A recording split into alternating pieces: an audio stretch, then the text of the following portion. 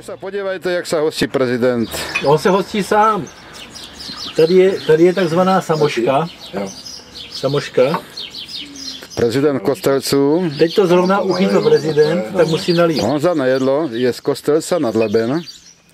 Honzo, tož vítaj na Slovácku. A není to, není to blbé, že si to uleváš sám? Hoši, proč nenalévali? Není, on to musí natrénovat. Tak si ťukněte. Oni tam chlašťují jenom tu vodu z laby. Tak. Si takže ťukněte.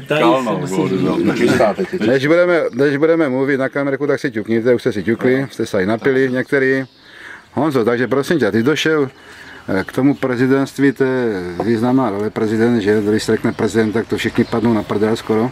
No. Takže já také padám. Jak se dostal do funkce eh, této? No, na, k tému se chodí a dochází tak, jak když dojde o, o opalenství a o mužství. To je něco podobného. To znamená, on se k tému dostane ani neví jak. Ne, to bylo, to bylo zajímavý takový. Když jsme to začínali před 20 lety, včera to bylo 20 let, co jsme měli první setkání v Kostelci na Černým Mersi, tak jsem si nechal udělat vizitku přítel Kostelců.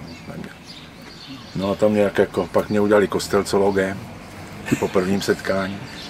To drželo a potom eh, 2002 v Kostelci u Jihlavy, když bylo sezení nebo setkání, tak Jarda Matula starosta pořád do Jihlavského rádia, do toho já tady mám prezidenta, mám ne, nejsem prezidentem, nikdo mě nezvolil, já to nebudu používat, když to nejsem. No, boj se, my tě za rok u vás volíme. jo. Samozřejmě za rok přijeli, jak jsem čekal, jak co bude, ale tak spouzdálí, ale předběhla mě jedna mladá holčina z Mladé fronty, tam středočeský. Někde se to dověděla a říkala, už jste tím prezidentem, a pan, já o ničem nevím. Kdo vám to řekl? No, tady se o to šušká. Tak jsem mi nechal chvilku bej, no pak jsem tam přišel asi za podně zase. Tak co, jak to vypadá, pan moment, slečno. Velký zasedání bylo v zasedačce, všechny starostové tam. Pan pánové Ma- Matula a Cejna, pojďte prosím se mnou. A tadyhle slečna mě už dvakrát jako se ptá, kdy budu tím prezidentem, já o ničem nevím, vy jako jste byli iniciativní na to. Karel Cejna říká, moment, šel do té zasedačky, povídá, kdo je pro, aby byl Honza Nejedl prezidentem Kostelců. Všichni zvedli ruku, přišel, tak může toto napsat i prezidentem. Tak takhle, to, takhle, to, takhle jsem se stal prezidentem Kostelců České republiky. No a prosím tě, pravomoce máš jaké? To znamená, ty jsi teďka neodvolatelný, nebo už to máš tak dlouho, on tě furt volí, jak to mají? Nikdo mě to ne. Tě nechce nikdo To odvolat, asi si, ne, ne, asi si dobrý. A to. jaké máš pravomoce vlastně? Stojí tě to něco, nebo když dojedeš Ne, no, tak to, někde? To je funkce čestná samozřejmě, že? No a vozím sebou tu ty výstavy, že jo, těch klipsrámů 25, co mají ty kostelci, každý má svůj, aby věděli lidi, kam přijedem ten rok, každý. Takže to ukážeme až v sobotu potom, nebo zítra. Mhm, Zítra to budu instalovat tam v tom foaje.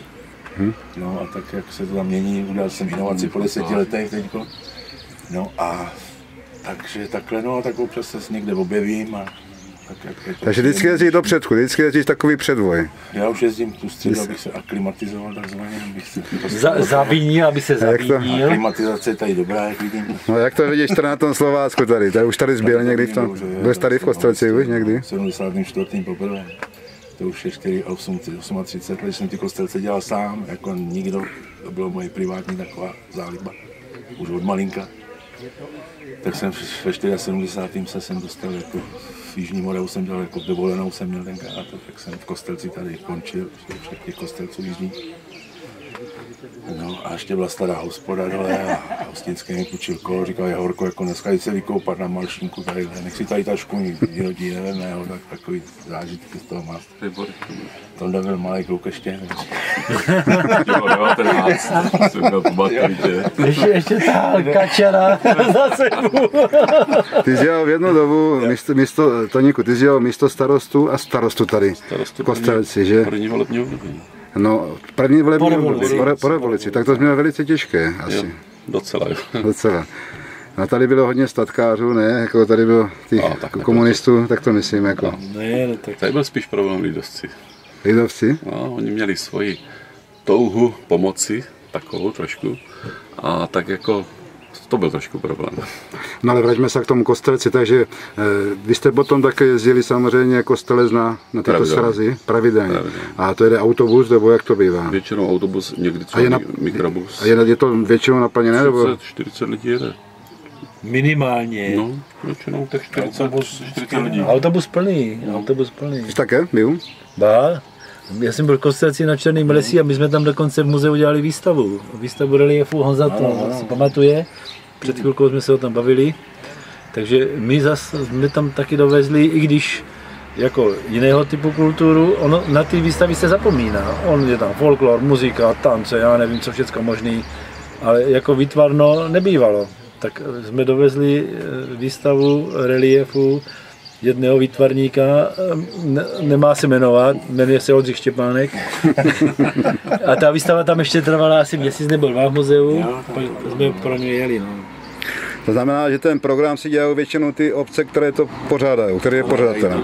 A ty tam do toho jako prezident nějak vstupuješ, nebo se informuješ, jak jsou připraveni, nebo... Prostě jedu se podívat, jak to vypadá. Už najisto. nějaký- nějaký On to vlastně ale schválí. Většinou nemusím, pan, oni to dělají všichni jako pečlivě. Profesionálně. Připravují se dle svých možností finančních a vůbec jak to jde. Kolik se zúčastňuje takových setkání? Mě říkala Kluci, starostka, ahoj, ahoj. že asi 500 lidí bývá, Pavle, tak vychlaď to. Jo, kolem těch vždycky je 500 lidí, no. Asi 15 kostelců přijede většinou. A jak tomu pomáhají obce? Myslíte si, že ty obce, ty kostelce, ty, ty radnice pomáhají, mají to nějak v rozpočtu toto?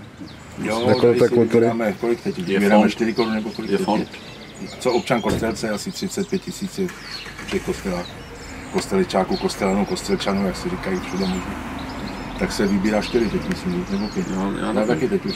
Byly dvě koruny, pak se to stoupalo. Jo, tak to stejně ani starostka neprozradí. Ale většinou se to sponzoři se to zhostějí s úctou, nebo s tím, takže ta, většinou to zůstává ten, to gro těch, toho fondu, takže je čeho brát, když je potřeba. A mám radost, že se toho zúčastňují ty menší kostelce, dřív to bylo v Kostelci je pět měst, má statut města, že? Červené je největší, mm-hmm. 8,5 tisíce, pak je na Torlici, ten má asi 6,9 na Černým lesy a my jsme tak se bojujeme o, to, o tu bronzovou medaili.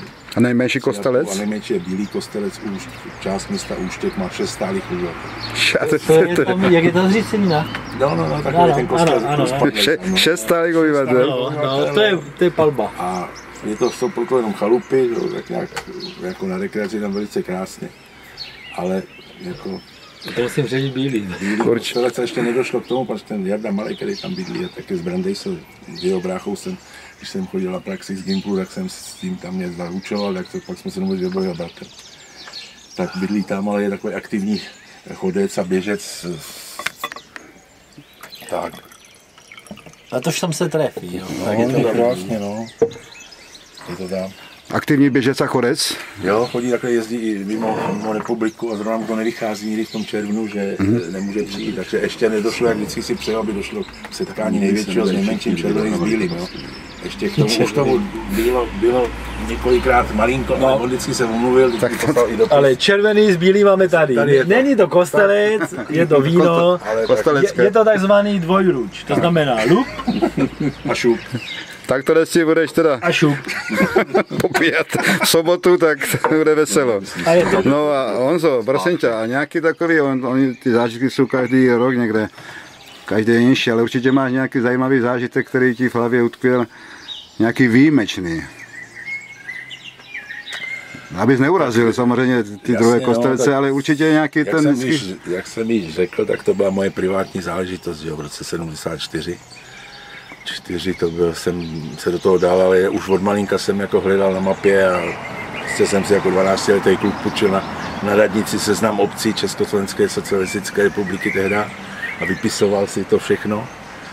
No a e, založil jsem to, no a potom nějak v tom roce Jana, sedm- Jana, Jana. 74 nešťastná láska tomu byla trošku napomocná, jo, že jsem prostě nějak vypadl z toho ze hry a tak jsem jako, já jsem jako celoživotní povolání moje je šofér, autobusák jsem, hrdý titul, beru si ho jako, mám rád, tak jsem jezdil linku náchod, tak v náchodě jsem viděl červený kostelec napsáno na odjezdovým stání, tak to mě tak jako popadlo a navštívíš a poznáš všechny kostelce, jo. tak jsem ještě cestou domů, už jsem si to v hlavě to připravoval a památné datum 24. duben 74 kostelec u Křížku byl první a odpoledne ještě zbořený dole u takže jsem udělal první den dva, no a pak to šlo tak nějak podle plánu, až jsem teda za dva roky to udělal.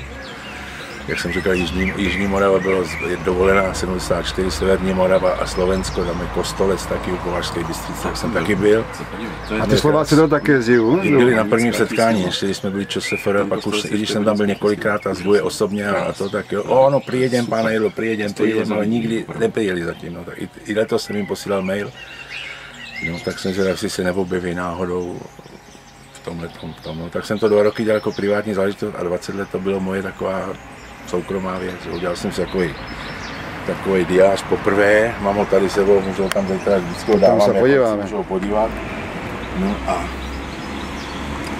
jak po revoluci potom v roce 91 inženýr Kahoun z Kostelce na Černým Jirka bohužel už není mezi náma, tak zvedl ruku na nějakém zastupitelstvu a oni tam mají ty keramické trhy poslední sobotu v květnu a že by to v rámci toho udělali setkání kostelců. No tak jsem tam náhodou schoda náhod, že jsem tam byl, že jsem jim mohl jako říkat, co a jak, jo, to všech možné, chlubili se mi, říkali, pane Jedl, našli jsme 17 kostelců a pan, já jich znám 33. No a už to bylo, jako, už to začalo, no, mohl jsem jezdit autou zadarmo, že jsem tam byl třikrát v týdnu třeba. Tenkrát, no a povedlo se, jak říkám, včera to bylo 20 let, památné setkání 20. června 92 sobota, bylo první setkání, přijelo 15 kostelců, včetně těch Slováků tehda, měli svůj autobus, hudbu, ten kluk na to pamatuje, jsem to Pamatuju, tady, a tady měl takový oštěp ty zuby, to, to vidím, a on jel, zpíval, to bylo nádherný, fakt. To byli, to byli výborní, akorát je teda trochu ti Češi je naštvali, protože tehdy to bylo na přelomu, jak se lámala republika, rozdělovala. no. A tehdy ti Češi je naštengrovali, co proti ním řekli, oni se strašně urazili a chtěli nastoupit do autobusu a odjet. Na, a naštěstí se nám podařilo se s nima domluvit, jsme říkali, co neblbníte, my jsme Moraváci, jak se na ně vykašlete, že jo, jsou to čekáčci. a kluci to vzali a pak, jsme, pak byla výborná zábava, no. odjeli, odjeli někdy v 10, no, v 11, odjížděli v noci, bezvadně jsme se bavili, to bylo úžasný, ten první kostelec byl asi nejúžasnější, samozřejmě, protože byl poprvé, poprvé jsme se všichni viděli, parta starostů se udala tady, ti ho- hoši, co jsou, i když dneska už zdaleka není tolik, těch starostů, co byli tady, nebo všichni nejsou, ale mění se to a pořád se to dodržuje a přebírají to i ti noví starostové, to vemou za svý, většinou teda, neříkám, že to je pravda, a pořád to funguje. Takže jezdí ty starostové, ty bývalí, snaží se teda... Kdyby to starosta nepodpr- nepodporoval, tak to prostě padne, že ta chce to, to musí to zastupitelstvo ten starosta vzít za svý, aby ty finance na to nějaký byly. No chlapi, aby jsme stihli fotbal, ty já tady jsou dost kilometrů od toho kostelce, takže nemož... a chci, abych to měl ještě dneska večer na YouTube, takže se s váma rozloučím, uvidíme se zítra v pátek večer a už tady budu s váma až do neděle. A tam to budeme natáčet, všechno budeme dokumentovat. Takže děkuju. Hoši. všecko dobré, Čau. vítaj Jendo, vítaj Toniku Ahoj. a zítra Ty jsi ahoj. neřekl moje jméno. Jak to, že nerekl? Zapomněl jsem. A co jsi řekl? Neřekl, jsi řekl ahoj. Počkej, já jsem Řekl zapomněl. Honzo a to Niko a mě jsi to řekl Já nic. jsem zapomněl. Už do prdele, já nevím, čí jsou.